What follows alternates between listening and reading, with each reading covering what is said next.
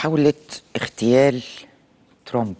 ده بيفتح أو هيفتح أنا بشوف كده المشهد هيبقى رايح في حتة تانية خالص.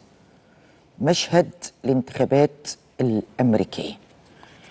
إيه الناس كلها فوجئت ب أنت بتتكلم في ترامب.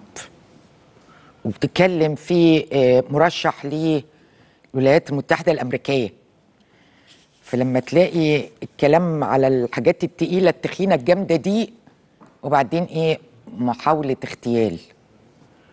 ومن شاب عنده 20 سنة أنا بشوف إنه إيه المشهد هيتغير تماما. وهقول لحضراتكم المشهد هيتغير إزاي من وجهة نظري أنا. بس خلينا نشوف الموقف رايح فين. ردود الفعل إيه الأمريكية بتتكلم على المجتمع الأمريكي بتتكلم على حتى ردود الفعل هنا بتتكلم بقى على الشعب الأمريكي بشكل عام.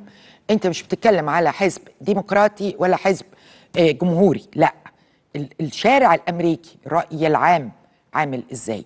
خليني أرحب عبر سكايب بالكاتب المحلل السياسي من نيويورك الأستاذ أحمد محارب. مساء الخير يا فندم.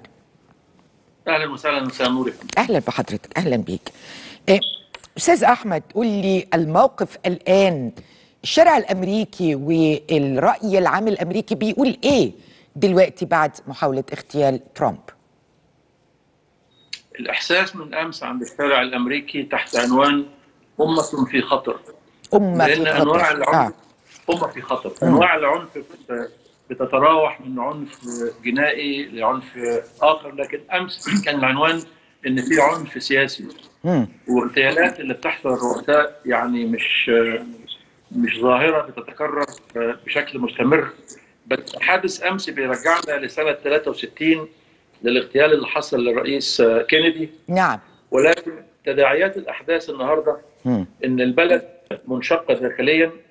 والصراع اللي حاصل ما بين الحزبين. والموقف ما بين الرئيس الحالي بايدن والرئيس الأسبق ترامب والمناظرة الأخيرة اللي كانت بين الاثنين أظهرت أن هناك تفوق في أداء الرئيس الأسبق ترامب وفي ضعف في أداء الرئيس بايدن. كلاهما مفروض أي مرشح رئاسي بيخاطب الجمهور من خلال المناظرة اي بيوجه له وجهة نظره وبرنامجه الانتخابي وهيعمل إيه للجمهور على المستوى الداخلي مم. وعلى مستوى السياسة الخارجية. الحقيقة في المناظره الأخيرة كان الجزء الكبير منها آه، يتعلق ب يعني آه، اتهامات متبادلة ما بين الطرفين.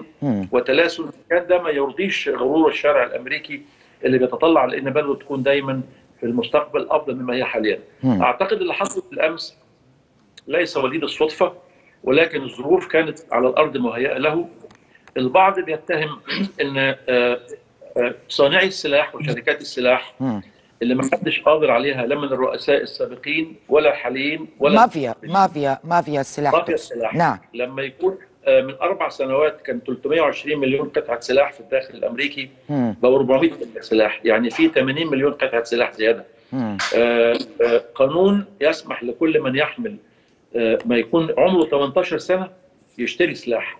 المحلات ما بتبيعش خمور أو سجاير للي أقل من 21 مم. فيعني عندهم حكاية السلاح دي أسهل من بيع الخمور والسجاير آه. وبالتالي أعتقد كل شوية بيتكلموا في إن يعني كل إدارة بتيجي إنها ترفع سن من 18 ل 21 مم. لكن في في الأغلب الأعم ما بيكونش فيه بحث جنائي يعني الشخص يطلع الاي دي في محل السلاح ويشتري مم. وهي مش بيشتري علبة سجاير أيوة. وبالتالي في اجراءات ممكن تتخذ في المستقبل لأنه يكون في فحص أو كشف جنائي على أساس مش أي شخص يشتري سلاح مم. يعني اللي كان عنده السلاح بتاع امبارح ده وعنده تم... عنده 20 سنة وشاب ومن سكان الولاية وهو كمان من الحزب الجمهوري أيوه فعملت علامات استفهام كثيره جدا هل الدافع شخصي ولا أيوة. وراه مجموعات يبدو من التحقيق الأولاني مم. إنه الدافع شخصي أيوة. السؤال دلوقتي إن غدا الاثنين سيستمر ترامب في حملاته الانتخابية وهيحظى هيحظى بدعم أكثر مما كان يحصل عليه في الغالب لأن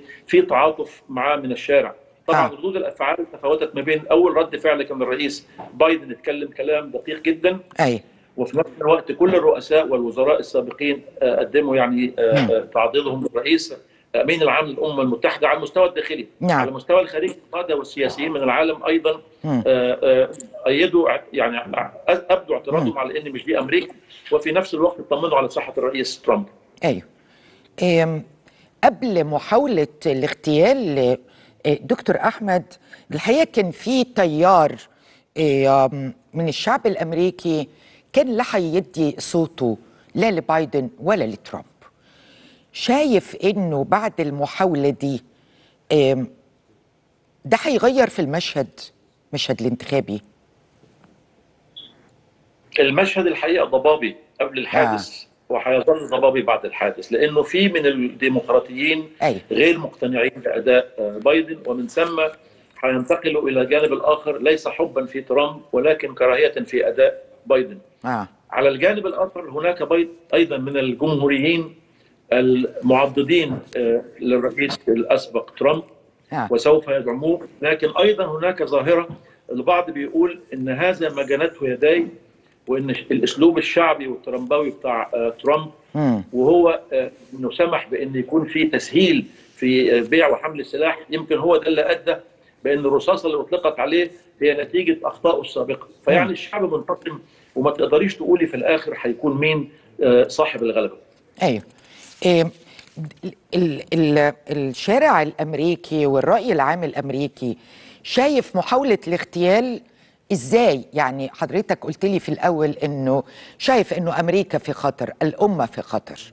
هل الشعب الأمريكي أصبح يدرك أن العنف والإرهاب والكراهية مش في صالح أي شعب من الشعوب بما فيها الشعب الأمريكي؟ شوفي حضرتك آه، إحنا لسه ما حللناش التحليل كله كان أمني الأول لا بتكلم على تحليل. اليمين اليمين المتطرف ما هو في يمين متطرف آه، لاجل الحظ آه إن الشخص اللي ألقى آه، بالس... يعني اللي ألقى بالرصاصه على الرئيس آه، شخص أمريكي ما هواش من الطوائف العرقية أي. ولا هتتهم بأي أقليات أي وفي نفس الوقت ما هواش منتمي لمجموعات فهو شخص منفرد. الشخص المنفرد ده بيمثل خطورة كبيرة جدا لأن ده من شريحة الشباب شريحة الشباب اللي هي 40% من الناخبين الأمريكيين مم. وشريحة الشباب هي اللي أول مرة تحصل مظاهرات في الجامعات بهذا الشكل أي العنف اللي مارسته الشرطة ضد الطلاب مم. الحقيقة آه، أتى بنتائج سلبية لأنه ما حصلش في التاريخ ابدا إن أربع رؤساء من كبريات الجامعات الأمريكية وعلى مستوى العالم مم. يتم التحقيق معاهم في الكونجرس لأنهم سمحوا للطلاب بالتعبير عن الرأي نعم فالخطورة دلوقتي اللي حصل امبارح والشاب اللي عمل الحادثة دي مم. هو ممكن يكون زيه مئات يمكن وعشرات الآلاف آه. من الشباب تمام عندهم نفس- نفس الاستعداد يمارسوا العنف آه الذئاب خلت بتبقى خطورتها أقوى نعم نعم مم.